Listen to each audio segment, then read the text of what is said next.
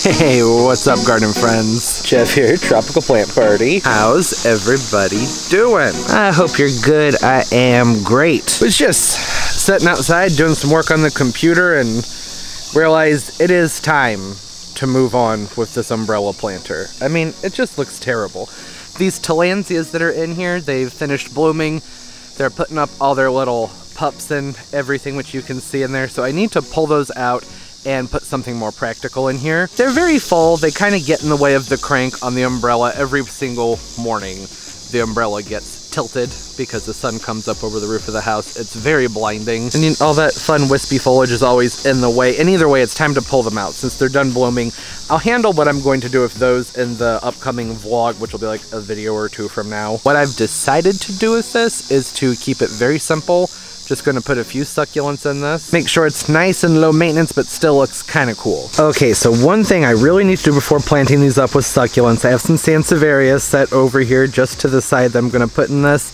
Need to drill some holes in the bottom. I already have a hole drilled in one, but with these being succulents, it's really important that water can move through these. I've got my drill here with a diamond tip right on there that can go right through the ceramic. I'm gonna keep my hose running right where I'm drilling. That's gonna keep water moving through so that the dust and whatnot doesn't collect and just slowly work my way through. Very simple, nothing to it. It's really easy to drill through ceramics and glass and whatnot. Just need to do it slowly. So here I'm working on my potting mix. You can see there's a good amount of sand in there. There's some bark chunks, still sort of clumpy and holding together more than I would prefer. So I'm going to add more sand to this, but a medium grit sand. So you see that the sand here the pieces are a lot bigger, they're more chunky. It's not as fine. This is gonna allow more air into the soil. I'm gonna add a lot more than that. Yeah, I mean, a lot more. I'm gonna go ahead and blend this up and get planting. There we go, see that? Falling apart. It's gonna be more airy, more oxygen can get to the roots, hopefully gonna encourage thicker, more sturdy root growth in theory, and hopefully you actually can see this. It's so sunny, I can't,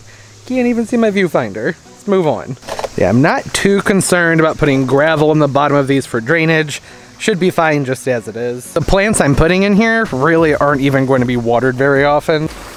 Okay, quick location change. Those shadows were just a little bit too hard to work with. Sorry about that. Okay, back to work. So, very simple. I have some of these small Sansevierias here. I picked these up from my local Lowe's. You can see they're actually surprisingly well rooted. I wasn't expecting that. I always like to have a good look at the potting medium that they're in and this is kinda peaty. Actually, I think that's coconut. Coconut drains a lot better, it dries out a lot better, so, and it's much more environmentally friendly. So see, I just barely loosen those roots up. It doesn't need anything extreme. And see, one of the reasons I didn't want to go with a ton of plants to put in these is just because, well, there needs to be symmetry. These, there's one for each side of the umbrella and I want them to match or at least mirror each other. I'm making sure that I want the soil right where that white line is. See that white line? needs to be right above that. Which means I put that hole a little bit too deep. Drop another one in right here. And I am planning on top dressing this with some large gravel, so having that white there isn't as big of a deal. The main thing is that it doesn't expose too much air. Still gonna add a little bit more soil. Just a little. There we go. So that's better. So not very much of it's exposed anymore. Go ahead and put another one in on this side. This is what I'm gonna top dress this with. It's just Black River Pebbles. You can get them from a craft store. I just picked mine up from the hardware store. I'm just doing a thin layer right on top. Ah, that looks much better, doesn't it? I do think it's maybe a little bit too plain. The middle could use something. Oh, I have these bits of succulent here. Unfortunately, I don't remember the name of it. It's just an offshoot I pulled off from one of my echeverias, and it is so easy to propagate these guys. Try not to touch the foliage too much. See when your fingers touch that, some of that powder comes off. I don't really want that. You can see how it's already happened in some of those spots. And then typically would let this dry a little while. This over here, these containers, they've been watered in. I'm not gonna be watering them again for a while. So there would be two options here. Option one, I can just take it, set it right there, or I can actually take this and stick it down into the soil. Since the soil's wet and this hasn't had a chance to callus over and dry, I'm just gonna let it sit right there, just like that. And I did the same thing on the other side. There's this lovely out of focus pile of leaves here. And then all of these leaves, I can just lay these flat on top of some dry soil or gravel, wherever, and then over time they'll put out some little roots and they'll put out little leaves, and then there'll be a whole bunch of brand new plants. Very simple to do. And then in just a couple of weeks when I've noticed that this piece right here, that stem has calloused over, I'll go ahead and pop that down into the soil. That's it, very simple, super easy and simplistic, which I like. That's because I don't want anything that's too heavily detailed on the table because it just, it can come across as messy. In the past, I have put lavender in these, which was fantastic because who doesn't love having lavender like right in your face when you're sitting around? But ultimately, with the umbrella and everything up above it, the light was a little bit too filtered and just got kind of messy over time. So I decided to go with plants that, while they are succulent and they can take a lot more sun than people give them credit for. They'll be okay with getting a few hours of bright, intense morning light and then filtered light from, you know, the umbrella throughout the rest of the day. And I'm not going to have to water this very often at all. Sansevierias are just super tough plants. They're really the perfect thing to put in a spot where you don't want something that's high maintenance. And I had toyed with the idea of doing something much more drastic and different from what I've done here. I thought about instead of using these black pebbles that are in here to instead put down some battery operated fairy lights on top of the soil and then cover it up with a translucent like sea glass or some type of tumbled frosted marbles or something and then at nighttime there'd be like a little sparkly show going on there. That would look really cool. But I didn't plan ahead and didn't buy the things to pull that off with. So for now, this is fine. And I actually, I like the contrast a lot with the dark stones against the blue on the pot. I think that looks nice. I was thinking that the Echeveria would stand out more, but really it blends into that pot like an awful lot, so maybe if this were white, that'd be a little bit different. I don't know. And really, these umbrella planters, they're not even that common. It took me a couple years to even find this one. I don't see them around the nurseries that often, so I don't know if this would be helpful to anyone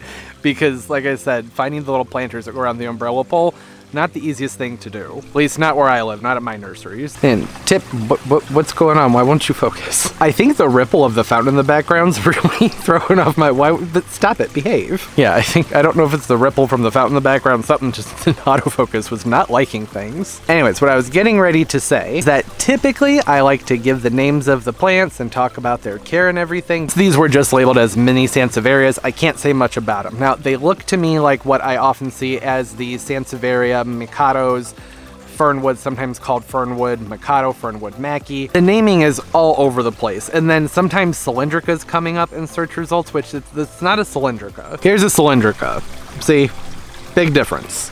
Sometimes when cylindricas are smaller, they might resemble the mini one in the background a little bit more, but not this one. This I purchased as a cylindrica, that's what it's labeled as, and I have seen cylindricas that look fairly different from this. It hasn't been getting a ton of sun, so the striations and stuff in the foliage are a little bit different, but you can see sometimes these ridges are characteristic of a different type of Sansevieria, so again, labeling problems, I don't know. To see what happened is, in my quest to figure out what type of Sansevieria these are that are back here, these miniature Sansevierias, I came across several articles that were just like debating the names of these different cylindricas and then this little Mikado, which may very well actually be a form of Sansevieria bacularis. And that's where things get like really tricky and sticky. And I don't, I'm gonna go ahead and link the article. It's very, very, very informative. I'll put that down in the description.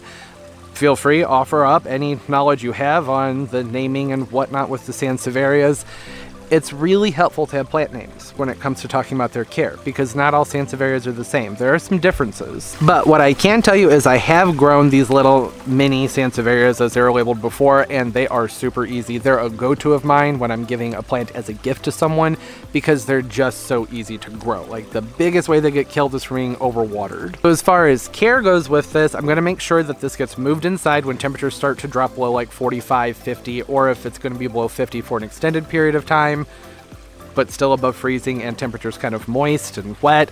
They're not gonna like that, they'll rot, so then I'd move them in maybe a little bit sooner. I'd prefer, just to be safe, to have them in when temperatures start to drop below 50, just to be safe. Like I mentioned, as far as lighting's concerned, these are gonna get some really bright, intense morning light, and then it's gonna be filtered throughout the rest of the day.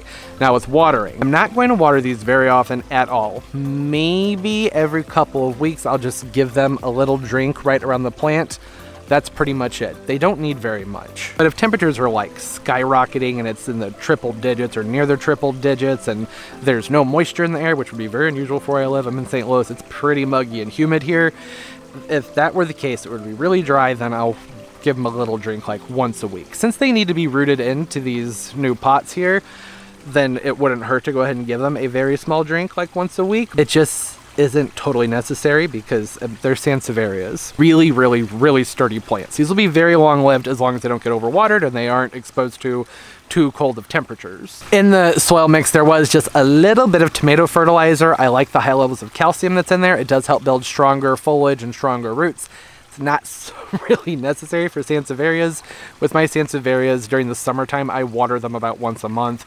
And then once like probably mid-September hits, I don't fertilize them again until springtime. I barely even water them again until springtime. Sometimes I don't water them again until springtime. Just kind of depends on the moisture and the atmosphere and everything for that particular fall and winter. That's why I thought these would be good candidates to have on the table. They're low maintenance. I'm not gonna have to do much with them. There's not gonna be water all over the place.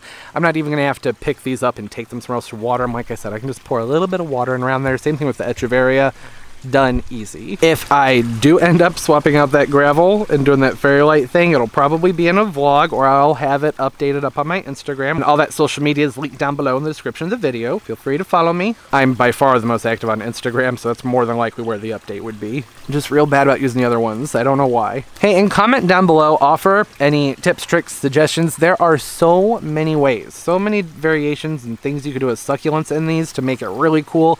Like I said, I just wanted to keep it really simple. Partially because, like I mentioned, the morning time I have to pull these out a little bit to turn that umbrella crank up there so that I can tilt the umbrella, and then in the afternoon I tilt it back and so they get moved around a little bit. Oh, and on that note, that isn't one of the other reasons, other than just that it looks nice. One of the other reasons I do have gravel in here is to help support these guys. It'll be a minute until those take root and fill out and like are sturdy inside those containers. However, I have noticed with these little mini Sansevierias, I'm just kind of wrapping things up, just a last note here. They grow fairly quickly if you do water them more than you need to. That's why it's good to use a soil mix that drains very sharply and dries really quickly so that the option is there to give them more light, give them more water. However, the soil does need drought in between waterings. That's very important. And you'll get more growth that way. They'll grow a lot faster. Like I said, comment down below tips, tricks, suggestions.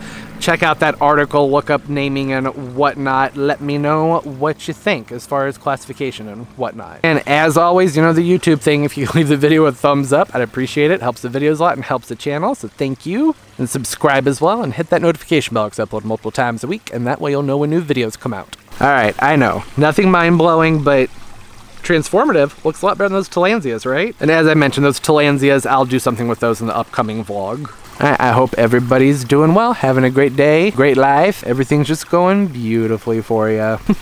and of course, as always, and most importantly, everybody, keep on growing. Bye bye.